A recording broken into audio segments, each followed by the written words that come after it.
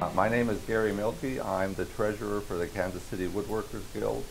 And uh, this is kind of the, the, way I got started in woodworking because when I retired, I was looking for something and uh, uh, to do. I needed a sign and uh, had came down here and they told me to go make my own sign, so I started working on it.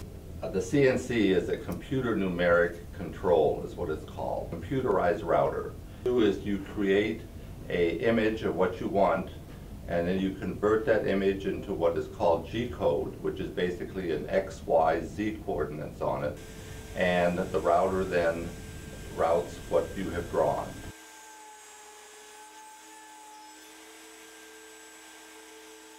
Our membership fees are very low because we basically to use all of our equipment, uh, we have what we call a sawdust membership. That's $75 a year. We then have a Woodworker Plus membership which costs $100 a year. And uh, if you if you use if you choose the Woodworker Plus, you get a 20% discount on any classes. So anyone taking that wants to take classes uh, really needs to be a Woodworker Plus because you can make up that $25 fairly quickly. We also, with our membership, you get a discount card which gets you a 10% discount at Woodcraft and uh, uh, Schutte Lumber, Metro Hardwood. Uh, there are also some uh, some sharpening places that that uh, are sponsors and so forth. We try to get equipment in here that uh, uh, is good for our the membership that use our shop. But we also have a good deal, or quite a few members that have a shop at home. So we try to have machinery here that they don't necessarily have at home. for instance, we have a 16-inch joiner uh, that is a, a, very nice, large machine, but uh, you, you, wouldn't see that in your average garage workshop. And we also have uh, a sander, a 37-inch sander, uh, a wide belt sander that uh, you're not going to see it at a home shop. Uh, we have a tilt mortise, and so we, we try to get machines like that so that people, even if they have a shop at home, that they can come in here and get some, get some benefit. My name is Anthony Harris. I started woodworking, I think I was about seven years old. 10 years anyhow, maybe 10 or 12 years, I did most of the wood turning wrong.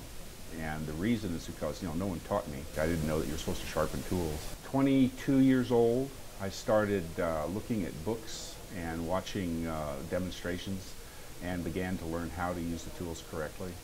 Deciding I was going to learn to chase threads.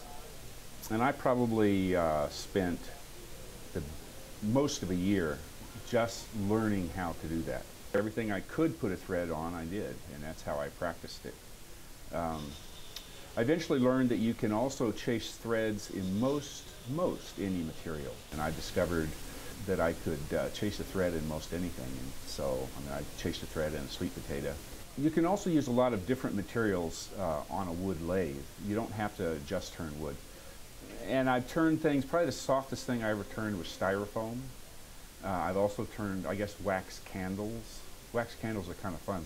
Probably the hardest things I've turned are uh, mild steel and brass. Uh, I turned some uh, soapstone. Bone and ivory are uh, very interesting things to turn, particularly if you find uh, dense bone. I got some giraffe thigh bone that is just one of the densest materials I've ever seen in my life. And it's got a fairly thick wall, and I guess because it's got so much weight that it's holding up all the time, it's quite dense. Horn is uh, also something that's fun to turn. You can really smell it when you turn it. And also a lot of horn, not all of it, but a lot of horn, you can only cut it one direction. Horn is made out of uh, keratin, which is what your fingernails and hair is made out of. Gemsbok horn. Gemsbok is a large antelope from South Africa and it has that problem with being able, you can only cut it one direction.